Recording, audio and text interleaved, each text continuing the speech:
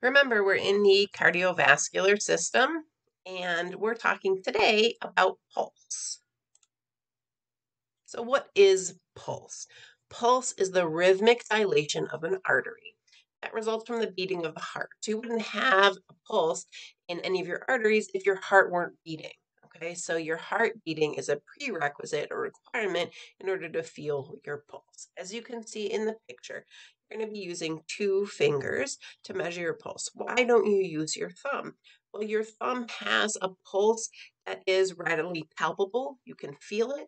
So if you use your thumb, you can count the pulse incorrectly because you might be feeling the pulse from the actual thumb. So you're going to use two fingers.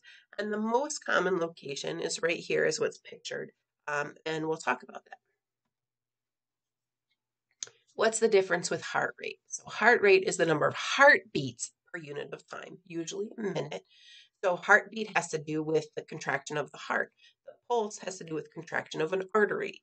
Okay, so um, that is the main difference between them. So heartbeat, literally the number of beats of your heart, and pulse has to do with the rhythmic contractions in an artery. Okay. So, where do we measure pulse? Lots of options. Okay, we have a lot of arteries in our body. Let's talk about that a little bit, um, a little bit more. where do doctors and nurses most commonly evaluate pulse? In the radial artery. Okay, so radial artery right here. So here is my forearm right here. I'm going to go thumb side and right here in this space.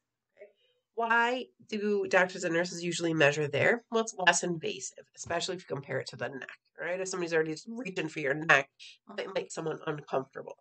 It's also easier to maintain contact with the wrist for a long enough time. Usually, you're going to measure for 20 or 30 seconds and then multiply to get that per minute.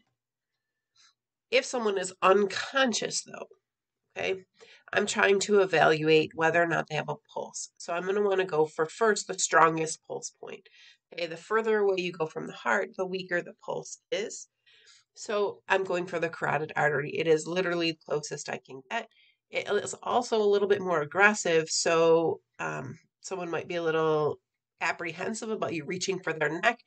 However, if they're unconscious and I'm trying to determine uh, how they are doing in a potentially life or death situation, it's appropriate to measure in the carotid artery. So, how do we do it? So, carotid artery, you can see here's the jaw, and then right down here, you're going to feel the pulse of the carotid artery. And sometimes you may have to move your fingers around to find the good spot, but it's not in the front of your neck. Okay, it is on the side here.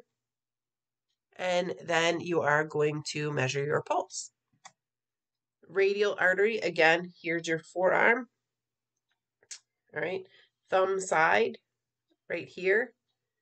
Okay, and if you don't feel it right away, you just move your finger slightly because you're going to need to be on one side of the tendon, and then you'll be able to feel your pulse. the ulnar artery is going to be on the opposite side. So here's my hand. Radial artery is on this side. The ulnar artery is on this side. So I'm going to go and feel my pulse this way on this side. Okay, that's kind of awkward looking just because I'm trying to show you. And then the brachial artery. So here's my arm. So literally in my elbow. And that's the one that's used when a doctor um, measures your, or a nurse measures your blood pressure. So they're going to put that stethoscope right there on that brachial artery. And there are a lot more pulse points, as you could see from the one image that I shared, but these are the four that we're going to cover and that I'm going to ask you to remember. All right, so there you have it, all about pulse.